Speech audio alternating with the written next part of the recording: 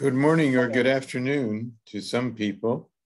I'm Sanford Ungar, Director of the Free Speech Project at Georgetown University in Washington, D.C., and happy to welcome you to this program, special program that we set up on relatively short notice today to talk about something that very many people around the country and the world have been talking about the uh, slap at the Oscars ceremony about 10 days ago by Will Smith of Chris Rock, who was uh, preparing to give an award at the time. Uh, I think many people know uh, the, the details of it. We have an excellent panel assembled today. We're very grateful to them for taking the time to be with us. Uh, and Nadine Strossen, who uh, is uh, one of the leading theoreticians and speakers about free speech in the country. She teaches at the New York Law School and is its former dean. She was for uh, almost two decades the uh, president of the American Civil Liberties Union, beginning obviously when she was a very young child, and uh, has established a great reputation on these issues. Also, Randall Kennedy, an eminent professor of law at Harvard Law School, who has written about many free speech and, and related issues and published books that have attracted a great deal of attention. And uh, we're very grateful to, to Randall for being able to take the time today, as well as Eisa Ulen, who is a freelance journalist and also teaches at Hunter College and Baruch College in New York City and recently published an article in the Hollywood Reporter to, uh, to discuss some of the issues that that occurred to her as a result of this incident. Um, I, would like to plunge right in and ask really, uh, some people, you know, this, this is this has already been examined from so many perspectives, but not that I've seen from the free speech perspective that uh, our project at Georgetown is so involved with. And, and I, I'd like to start by asking Nadine, uh, there's, there's not necessarily an issue of the First Amendment here. We all know that. It's not an issue of the government trying to restrain speech, but it's a First Amendment values and the values that we all, or I, I think most people agree who are probably tuned in that we'd like to preserve and protect these values. Before Nadine answers my question, I do want to note that the chat is disabled on your screens for this program. But if you do have questions or issues that you'd like to be addressed, use the Q&A button at the bottom of your screen and time permitting, I will come to those and, and present them to the panelists as well. But Nadine, uh, where is the free speech issue here in your view? Uh, was Chris Rock's speech protected? Was uh, uh Will Smith's speech, if symbolic or brief, also protected. Well, thank you so much, Sandy, for including me with such wonderful co-panelists as Randy and Eisa. And I actually have been hearing a lot of commentary and questions and indeed assertions uh, often to the effect that, well, of course, Chris Rock didn't have the right to say that. Uh, and again, people uh, putting aside the fact that we are not talking about the First Amendment, but the values of free speech that infuse the First Amendment, uh, his speech was protected, even if it is regarded as, indeed, even if it, it was intended to be insulting. The two possible uh, exceptions that have been asserted by people who are shocked to find that um, his speech would be protected um, are number one, the so called fighting words exception. This goes back to an old 1942 case in which the Supreme Court said uh, that words which by their very utterance uh, insult injure somebody's feelings uh, can be punished as unprotected fighting words. In the many, many decades since then, back then in 1942, the Supreme Court hadn't seriously begun to protect free speech. I think it's important to note it has never again upheld a so called fighting words um, conviction, but it has narrowed the definition so that something could be considered punishable fighting words, but in appropriately narrow circumstances. When the speaker is targeting a particular individual and intentionally saying insulting words that are provocative of or inviting to a fight. Uh, the Supreme Court uses this quaint phrase an invitation to fisticuffs. Uh, seems to go back well, to the dueling age, right? And the standard is judged by a reasonable person that it's, it's an objective standard, not a subjective one. So it doesn't matter if Will Smith is uh, unusually thin skinned, uh, it would not be fighting words and hence unprotected unless a reasonable person in that position uh, would respond with violence. And I think that standard is not satisfied in this situation appropriately.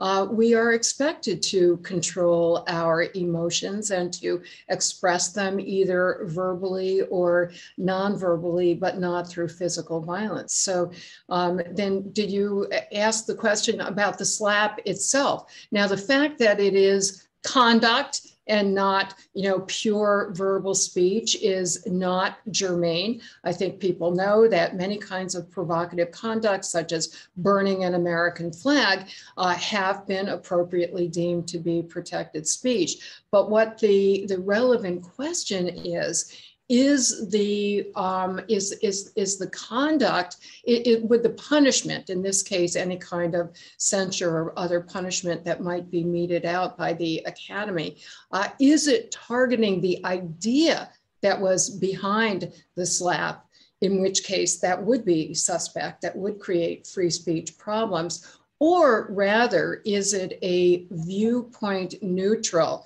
uh, punishment or sanctioning of the conduct aspect. And I think it is the latter. Surely, if Will Smith had uh, had smacked Chris Rock or slapped Chris Rock for any reason, even to convey exactly the opposite message, uh, it would be the physical action itself that was earning the sanction and not the message that was conveyed. In other words, the non expressive aspect of the expressive conduct, and therefore it is subject to punishment consistent with free expression values.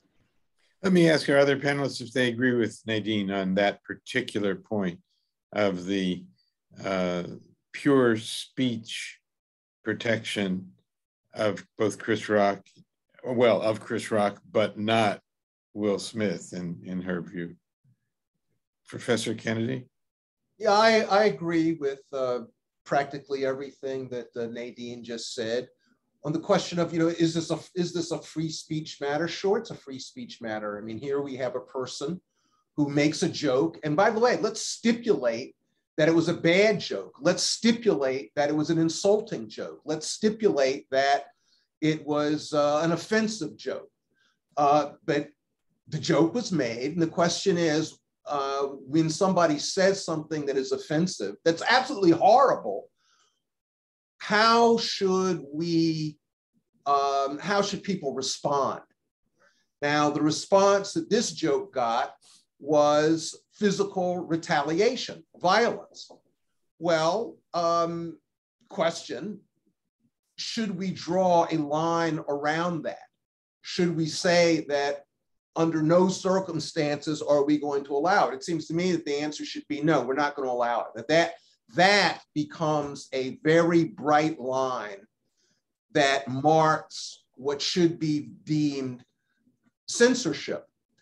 Now, um, you then ask the question, you know, no, this is not the case that we have right before us is not a First Amendment case, though it could become a First Amendment case. Let me change it around a little bit. Let's imagine that instead of slapping uh, Chris Rock, let's imagine that the violence had been greater than that. Let's imagine that a baseball bat had been brought and the and he and uh, and Will Smith had actually hit Chris Rock with a baseball bat and had seriously injured him. And then let's also suppose that uh, no charges were, were brought because let's say that the officials were on the side of Will Smith. They, you know, let's imagine that an official said, well, he had that, that's what was coming to him. It would seem under those circumstances that we would have a situation where the state was rendering under protection. The state was actually not willing to come forward and protect Chris Rock because the state didn't like what Chris Rock said. It seems to me that that would be uh, a big First Amendment uh, problem. And it's a type of, it's a First Amendment problem that we see all over the United States. And it's a real, you know, that's a real difficulty. We should demand, we should demand that people practice self discipline, even in the face of statements, of uh, symbols, of jokes that are terrible, that are offensive, that are horrific. Eisa, how do you how do you feel about this? I agree. I think that it's important that we maintain a level of civility, uh, particularly um, in the public realm, and that Chris Rock's speech, uh, his joke, as offensive as it was and as problematic as it was, um, because that speech is protected and he had the freedom to make that joke, he's opened up an opportunity for us to amplify the problematic aspects of what was said. That becomes compromised, and so I agree with Randall Kennedy and Nadine Strossen. That be Strossen, sorry, that becomes um, complicated when you throw into this mix Will Smith's physical response, the slap itself. That should not have happened. Um, I think that it had Will Smith used his platform to respond to the joke, that that would have enhanced the conversation. And that's what I'm really interested in. What is the public discourse around Black women, protecting Black women, Black women's appearance, and Black women in hair? Um, so, as offended as I was by that speech, uh, by that joke, as difficult as it was for me to hear, um, Will Smith's response was even more problematic to me. I'm glad that that joke was protected. He was given the freedom and the platform to make it because now we can have a free and open discourse and really uh, interrogate the cultural permission that Chris Rock believed that he had to denigrate Jada Pinkett Smith in that way. May I comment, uh, Sandy? Because sure, please. Both, both, of my co-panelists have made such generative remarks. Um, Eisa is basically saying, to use the, the, the lawyer's term, that the counter speech in which uh, Will Smith engaged was not only not uh, consistent with free speech values, but it was actually ineffective and counterproductive in achieving the substantive result of, of conveying his views in a way that would inform and, and lead to uh, a more vigorous and robust and critical conversation. And Randy raises the really important point that um, there is some complicity on the part of um, institutional actors ranging from uh, police officers to, uh, to campus officials to, in this case, potentially the academy, although it did step in, those who are in a position to sanction uh, physical threats or violence that interrupt the conversation. And, uh, you know, we saw this in the civil rights movement um, when exactly police officers refused to protect demonstrators against violence. And the Supreme Court called that a heckler's veto. We see that today on college campuses, dare I uh, say, including yours, Sandy, where uh, there is a wonderful speech um, statute or regulation in protection, but it's not enforced when people people. So um, the authorities become complicit in undermining the conversation as well as free speech. I, I have two questions. One is sort of a small one and then a big one. Uh, does it make any difference to all your considerations, and this may just require a one or two word answer, I don't know, it, that Chris Rock was there as a comedian? Would it have been, would your interpretation be different if he'd been giving a substantive talk in a different place, or if, if he had simply issued a criticism that seemed unjustified or inappropriate, uh, unkind to Will Smith's wife? Would that make any difference at all? Not to me. Not to, me.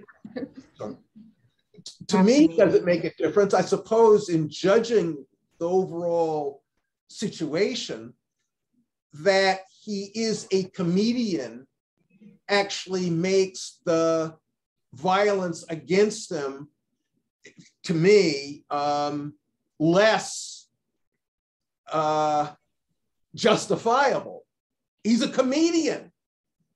I mean, again, it, you know, it might have been a terrible joke. It might have been an unfunny joke. It might have been cruel, but he's a comedian. And, and it seems to me that, you know, one of the things that folks ought to think about or ought to be thinking about is, I mean, so what next? I mean, you know, comedians are all over the place in the United States. You go, you know, and and they often push the envelope. They often say things that, frankly, are mean.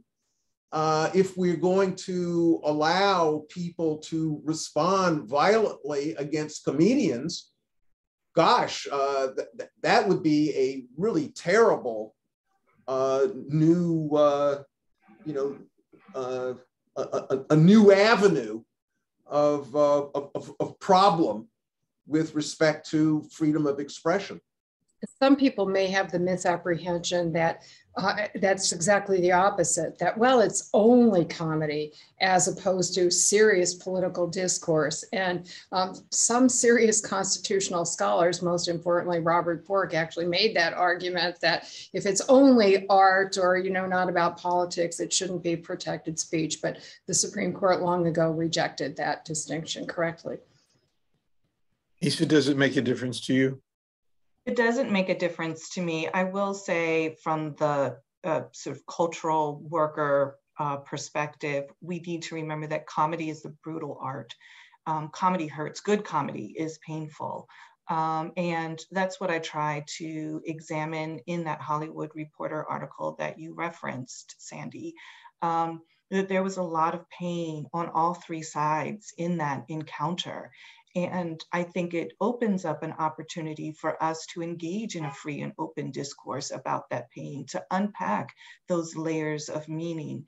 Um, certainly, the the performance of a kind of robust civil discourse has become an issue for me uh, where people are engaging in conversations in the public realm um, that don't have jokes that aren't being told by comedians, um, but don't sort of the weaponization of words, right? right? Where words are being used in targeted ways as micro invalidations, as microaggressions that are violent and harmful. And I think that we have to be careful in the way that we, and again, I'm going to use this term, give people cultural permission um, to speak in ways that are triggering, that are painful. But the only way that we can get to a more restorative place in the way that we think about speech and protecting it and protecting the humans that are sometimes hurt when words are weaponized is to have these frank and open public conversations from multiple points of view. And that's what's important to me. Lisa, I love that phrase that you used when you said comedy is a brutal art that is so eloquent and it really it's a double-edged sword in the sense last night i happened to have dinner with a professional stand-up comic a black woman one of the pioneers um, uh, uh, in her demographic group and she we were talking from her perspective uh, that stand-up comedy is you make yourself more vulnerable than in any other uh, way that we can imagine even speaking constantly in a non-comic way because uh, i don't have those talents and in some ways, you know, it is br- brutal to the comic as well, who no doubt often is receiving very uh, mean and harsh and unfair criticism of the nonviolent sort, but still deeply painful. And maybe it's like it epitomizes from both perspectives the robust discourse that that all of us should be engaging in, as you so wisely say. But it's especially intense when it's uh, the comic and the person who's being insulted by the comic. Yeah. Can I Something ask ran- of Eisa? I'm sorry, go ahead. Eisa, you, in your in your in your remarks, which I agree were were, were you know um, quite striking. You you did have a you used a phrase. You talked about when words are weaponized, and I wanted to ask you about that. Aren't words always weaponized? I mean, if if I'm writing an article, I'm going to try to make it as vivid, as punchy, as powerful as as I can you know, now aren't I in, in doing that? Can't it could be said, can it, that I'm weaponizing words? Aren't words, in a sense, always weaponized? I suppose that you could make the case for that. Um, what I mean in particular is, you know, we've been talking about this Oscar, you know, this amplified voiced expression, this global reach you know, I'm thinking also about what happens in quieter spaces and spaces where there aren't a lot of cameras, where there aren't any microphones. And mm-hmm. I think that there's an intentionality to provoke to violence. There's an intentionality to provoke to a kind of erasure that has gained momentum in our everyday discourses that I find troubling.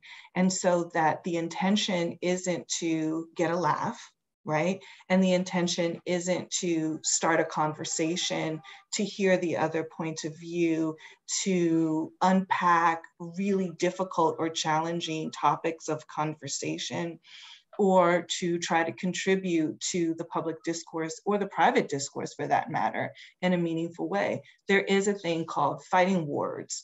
And um, I think that these micro invalidations, these microaggressions that have been used are a little bit different, are qualitatively different in terms of how they're received by me. For example, if a woman or man for that matter, or a non binary person uh, who is not African American wanted to have a real conversation about Black women in hair with me following this uh, event, I would be open to that conversation, right? And I would want to engage in that person's um, questions and queries assuming that this person is coming from a place of really wanting to talk, really wanting to actively listen, and really wanting to learn, and that we might not land on the same place. This might end up being a source of even more tension, right, in the moment, but that ultimately it leads to a more robust public discourse because we both come in as good faith actors.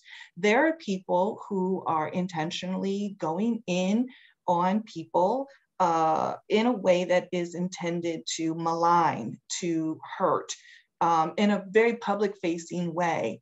And that to me is qualitatively different in the way that it lands, in the way that it is felt, and in terms of intentionality, where it, it derives from, right? My assumption is that the intent is to invalidate, it is to erase, it is to silence, it is to further concretize this hegemony that uh, the person is privileged to land somewhere near the top of. Um, and the concretization of those uh, social forces, the concretization of that hegemony is problematic. That's not a person who's looking to, you know, engage in a rich and meaningful conversation. That's a person who's intending to wield their power over me and people who look like me. And that is something that is feels qualitatively different. That's what I mean by weaponization. If I may say I, so, that's in, although in a different factual context, that to me is a brilliant explanation of the concept of cancel culture, where you know the term itself means nothing, but where the point is not to criticize somebody's ideas, hold them accountable for the ideas, but to punish them and erase them as human beings. And I thought it was very interesting the most recent survey that I saw about uh, students uh, chilling of free speech on campus, students who feel uncomfortable voicing their opinions on important topics such as race and gender.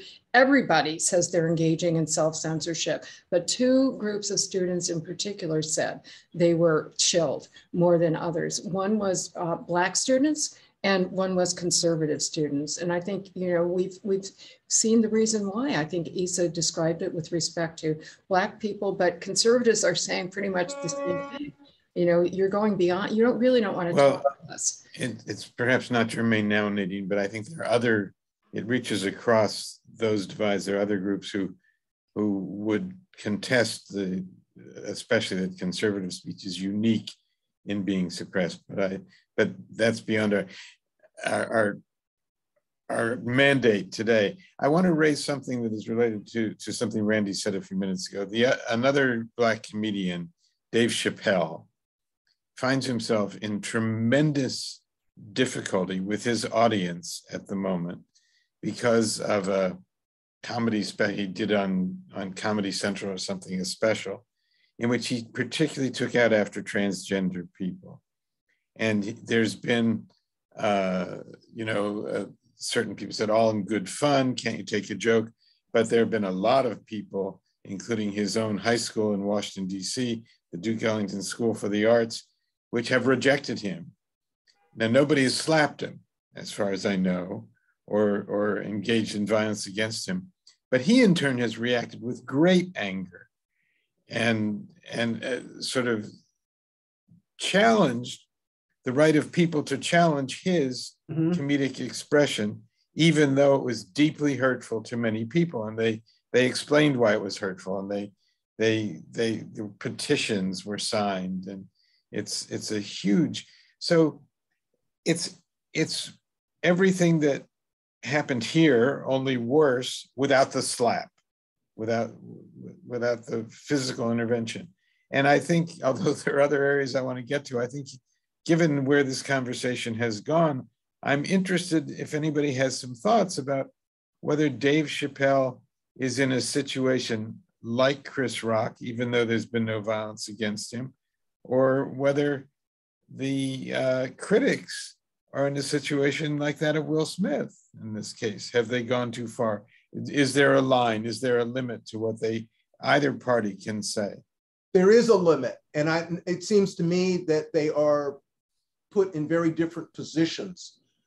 Um, on the question of cancel culture, uh, I, I, I, think I might be in some tension here with Nadine, because in my view, um, you know, people who are engaged in canceling, it can be said about somebody who's canceling, they are expressing themselves. So, for instance, if let's imagine that after Chris Rock made his joke, let's imagine that Will Smith, upon getting the stage, had said, This was a terrible joke. This was a demeaning joke. It was a cruel joke. And I'm asking everybody in TV land, I'm asking everybody listening to my voice, cancel Chris Rock until he apologizes. Would that be wrong? No, it's, as far as I'm concerned, that would not be wrong. Now, you know, somebody might say, well, I mean, that's cancel culture. Cancel culture, canceling is its own sort of expression. And I would say that with respect to boycotts, I would say that with respect to, you know, uh, you know, uh, putting people off your whatever feed you're on. So you know, I, I think we, with respect to Dave Chappelle, Dave Chappelle had his say. Fine, he had his say. Now other people are having their say. Now, you you know, are they censoring him as far as I'm concerned? No, they're not censoring him. They are simply having their say. We we're talking about a political struggle and people will have to make up their minds about who they think is right or wrong. But it seems to me it's it's it's not it's not a matter of censorship when people you raise their voices to object to other voices that they don't like for some reason. So it's just a, it's the physical gesture here that is that is what sets it apart. Yes, in my view.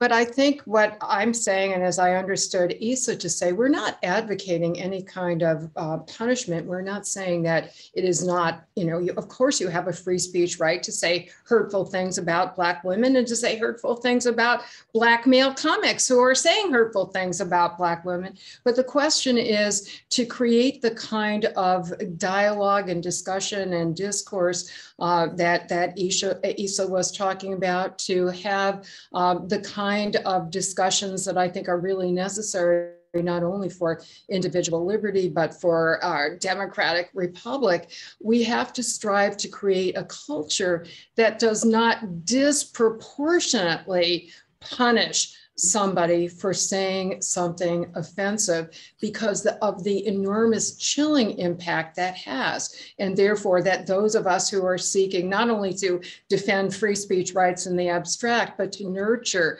discourse and to bridge polarization, that we should say, yes, you have a right to, uh, to boycott, but we urge you not to go that far in this case. Or yes, you have a right, private sector employer, to fire somebody for an offensive tweet that they posted on social media. But we urge you not to do that because we think the end result uh, for both free speech and civil discourse and democracy are negative. i agree with Nadine, that. with, with respect, you're urging a tolerance and a, and a softness mm-hmm. uh, and a reasonableness at a time when this society is so polarized and when nothing seems to be reacted to in a moderate or or even transitional manner. And so one of the questions that has been troubling me about all this, there, there's a kind of, um, if you'll excuse this expression, a sort of mock shock that someone in the in the role, in the place, in, in the exalted position in many respects of Will Smith would slap somebody. This in a country where the president of the United States, the, the sitting president of the United States, uh, a year and a quarter ago, um, condoned and many people believe fomented an insurrection against the heart of government violence of an extraordinary nature, a, a gallows built outside, uh, people died.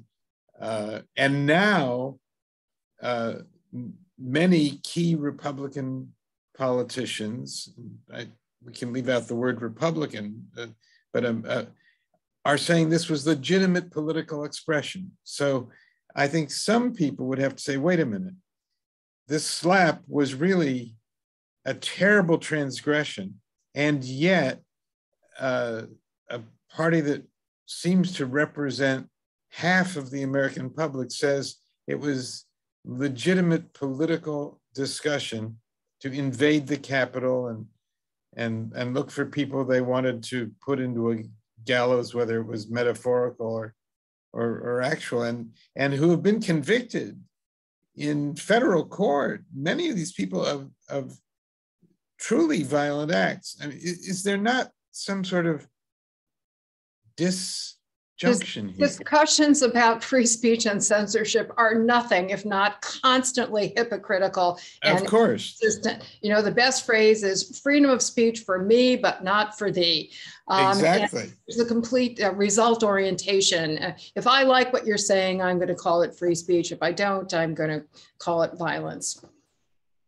But but how do how do we credit um, this outrage over the slap if some of the I don't know whether there's some of the same people, but there are there are certainly a lot of people who condone much more severe violence in the name of speech.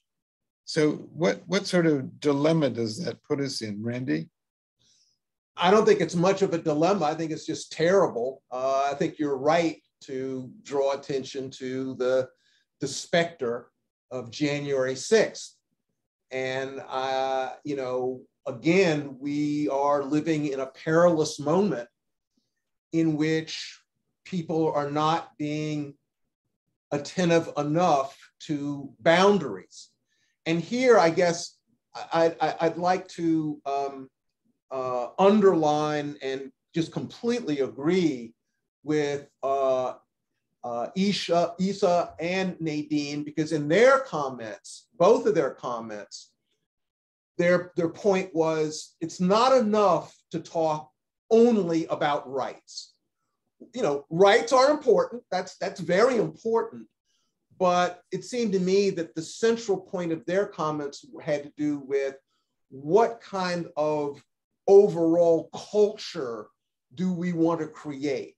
Don't we want to have a culture in which we're not just concerned about rights, what you can do, but we're also we're, we're even more concerned with what sort of environment will um, will will nurture uh, you know goodness and good citizenship. And what sort of culture will uh, will will enable, enable to speak and speak candidly. It seems to me that that is the the the larger task uh, ahead of us. And getting back to the slap, when you engage in you know a physical retaliation, uh, that is going to undermine all of what uh, my, my co-panelists have been urging. One last point, I do think, because you know everybody is, I think, you know, on this session has been very critical, and I think appropriately so, of um, of Will Smith it, it, it is worth mentioning that he has, and from what I can tell, uh, sincerely uh, apologized. And, you know, um, we ought to worry about, again, in, you know, in terms of trying to create the sort of society we want, we don't want to be hyper punitive. Uh, a person can mess up, all of us do and you know it's not the end of their it's not the end of their life. It shouldn't be the end of their life. We should allow people to come back once they've you know sincerely apologized and it seems to me that he has sincerely apologized and to that extent okay let's all learn from this and you know try to tr- try to move on up a little higher in light of what we've learned.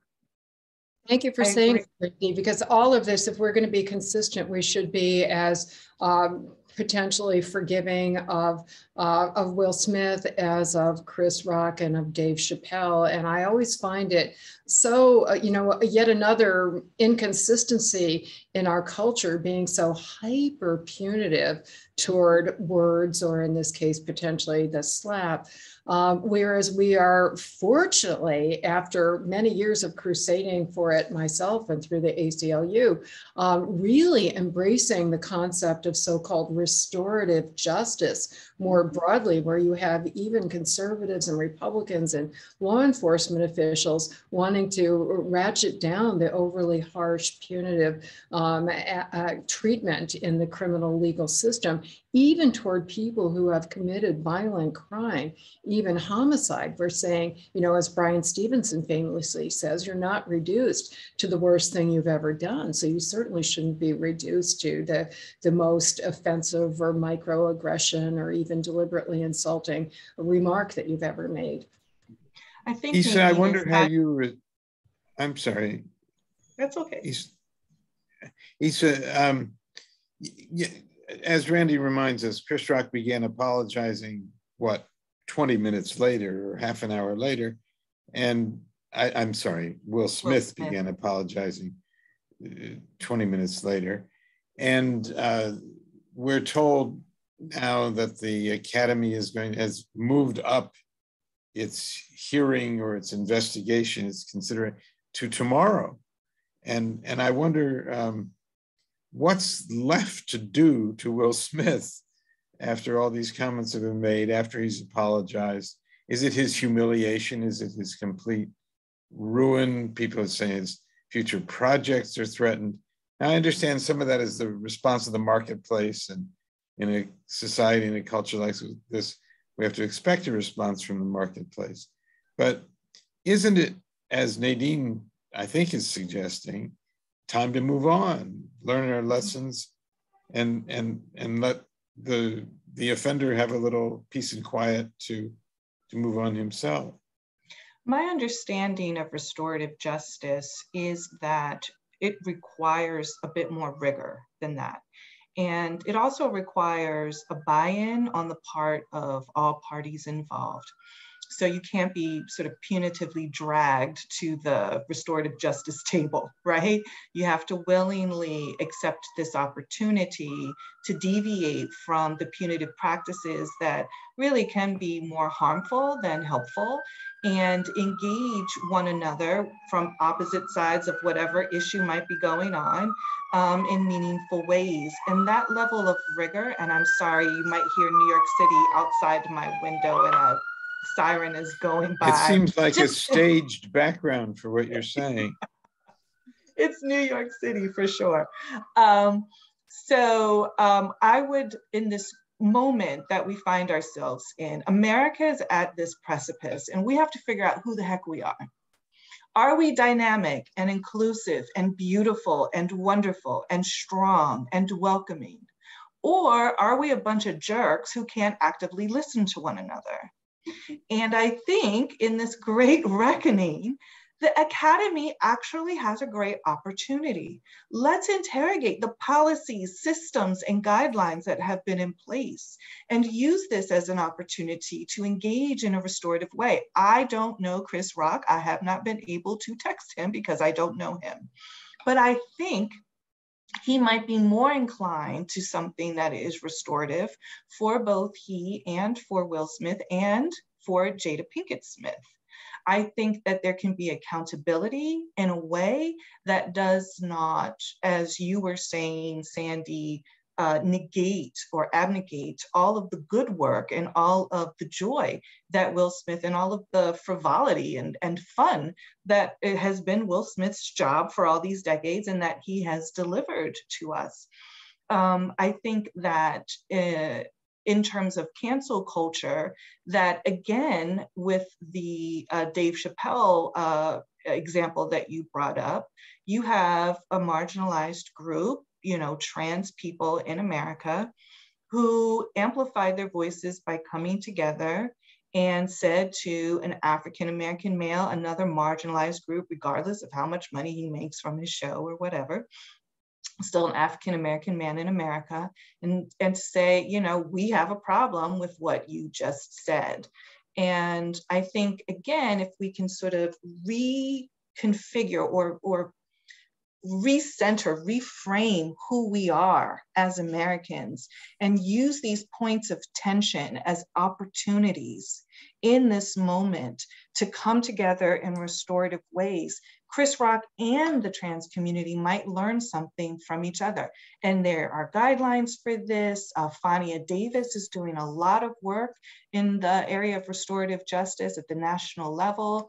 You've got small groups in you know places like Boston who are coming together using truth and reconciliation, led by Bishop Desmond Tutu at the end of the apartheid era, as a framework to talk about hot button issues like abortion rights and abortion access in the United States. So people have created a framework and a model for going to the difficult places. Just want to say one more thing, and I have to say this as an educator. I think that, and this is outside the parameters of the discussion, but I need to state this.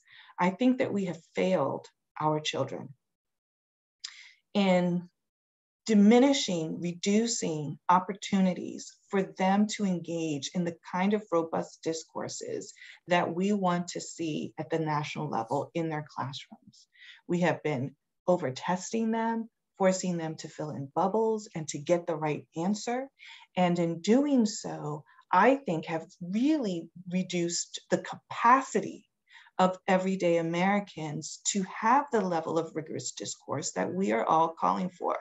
So I think this is a big moment and a big opportunity for us to again reframe and redeliver the kind of learning that's required for effective and robust restorative justice and to interrogate again systems and policies and institutions like the board of governors right with the academy and to begin to unpack and surface ways of coming together that will reduce the again i'm going to use this term cultural permission that people felt they had to invade the Capitol on January 6th.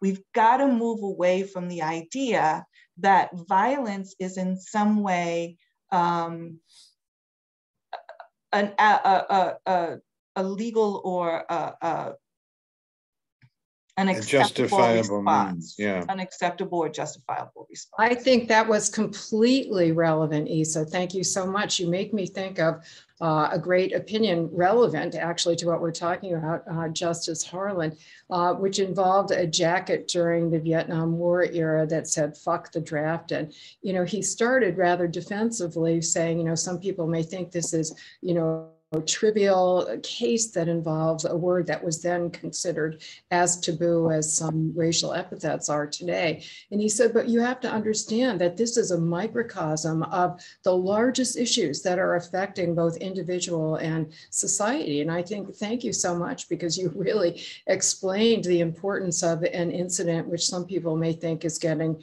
disproportionate attention because it happened to involve celebrities, but it really, and, and, and Sandy, the one wonderful questions that you posed and the comments that, that Randy and Eisa have made have shown that this is really involving not only huge problems such as the insurrection, but also big but painstaking solutions, starting with education of our kids at the youngest ages. By the way, in the Q&A channel that we opened up for people listening to participating in this program, there are people asking why doesn't the local prosecutor prosecute Will Smith? He's got plenty of witnesses. He or she has plenty of witnesses, plenty of opportunity. Uh, Chris Rock doesn't have to endorse that that prosecution. It doesn't matter necessarily what the victim believes in the mind of the, the prosecutor.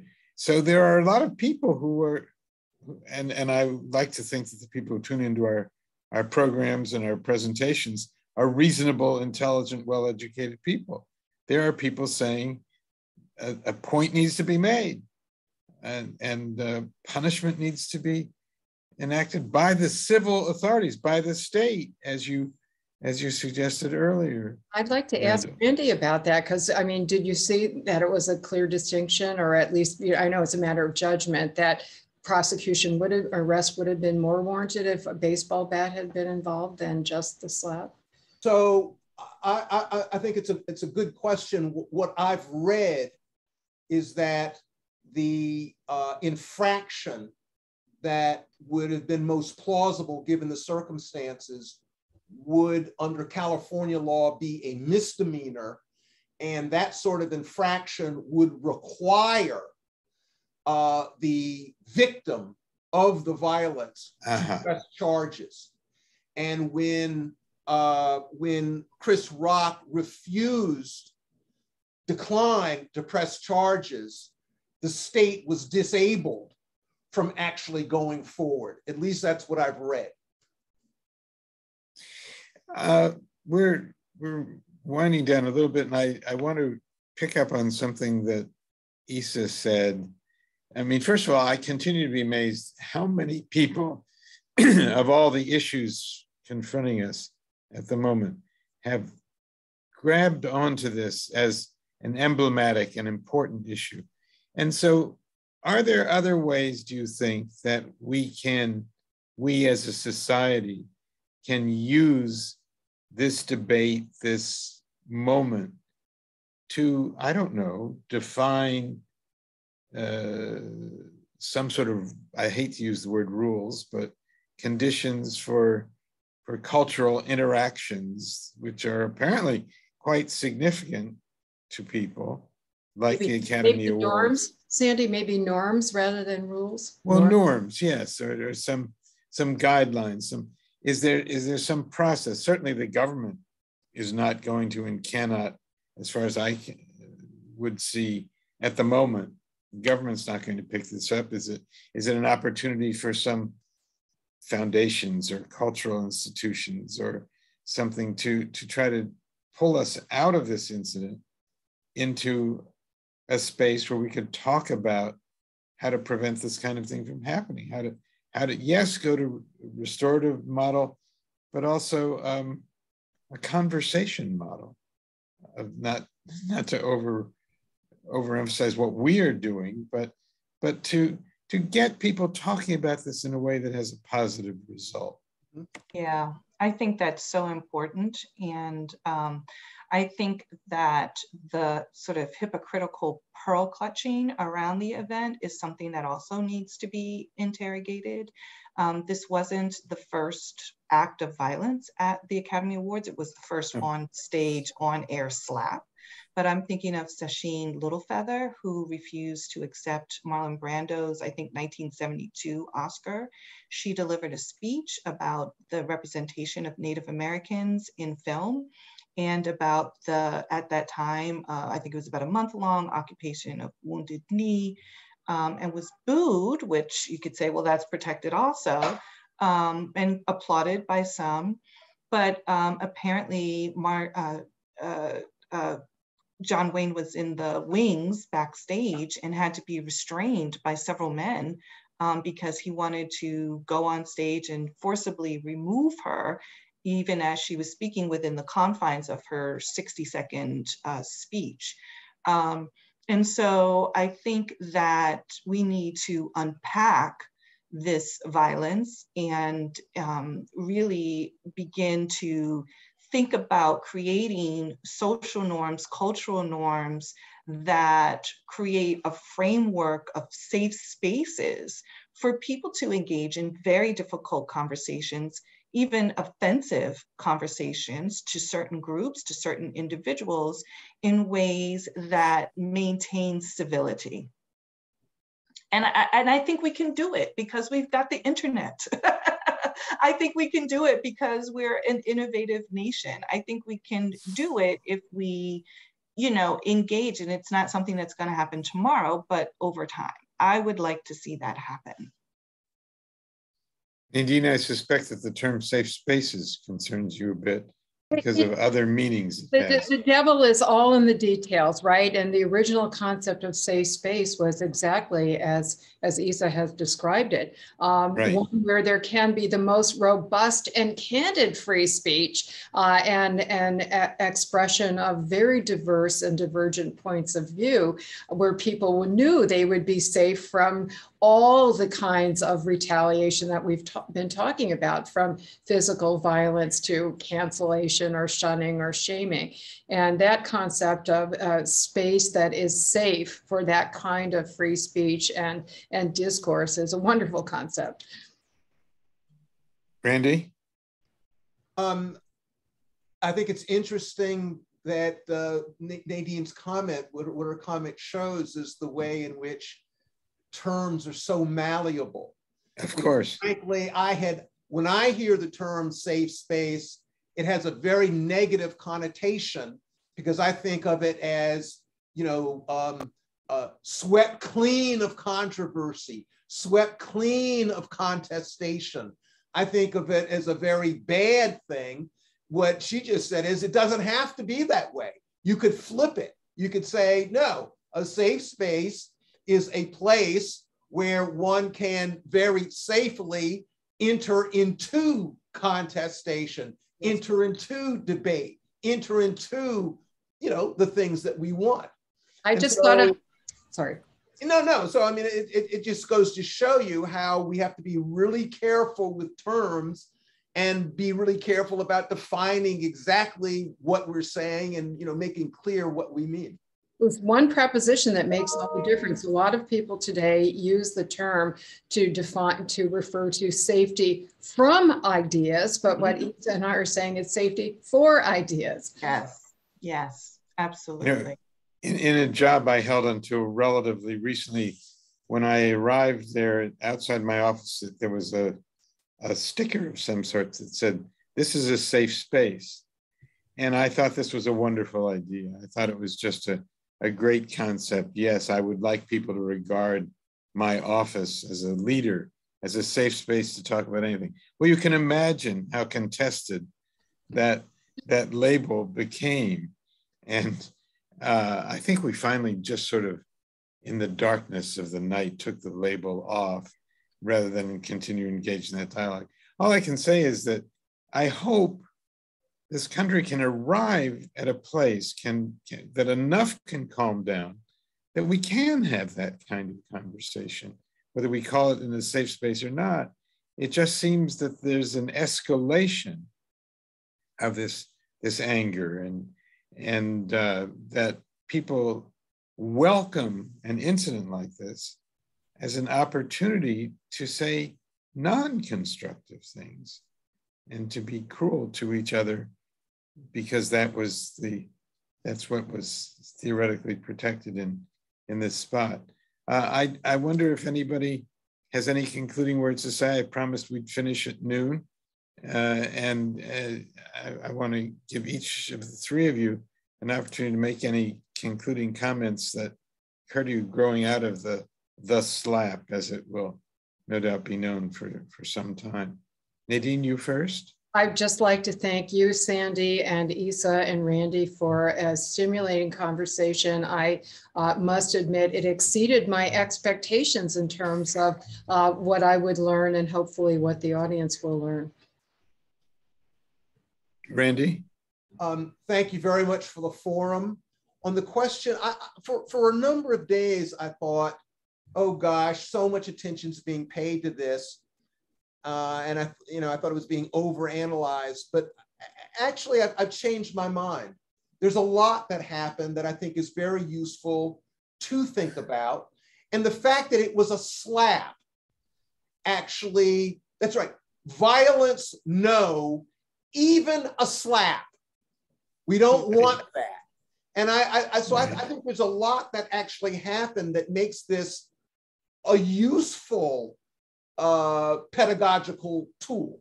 So thank you very much for the conversation. Uh, I, I, appreciate that. Uh, Eisa, any, any quick parting words? Well, in addition to expressing my gratitude, I'm really happy to have been invited to this panel and thank you so much for having me. Um, I love that we're at a place where groups like the trans community that we talked about earlier can sort of amplify their voices by coming together to meet the, the, the level of uh, presence and the centering that somebody like Dave Chappelle has. Um, and I think that it's important to state out loud that groups that are coming from different perspectives and different points of view will hopefully use this as an opportunity, and I hope this is consistent with what Randall just said and with what Nadine just said, um, to come together and have really difficult conversations in ways that don't lead to harm against others, that are restorative, and that can begin to untangle all of the historical knots that have us connected to this sort of reflex violent response to being hurt or uh, or or uh, pained in some way. Sandy, well, I just realized, could I possibly say 30 seconds because something really eerie just occurred to me. I'm speaking yes. from a hotel in Fort Worth prior to a speaking engagement here.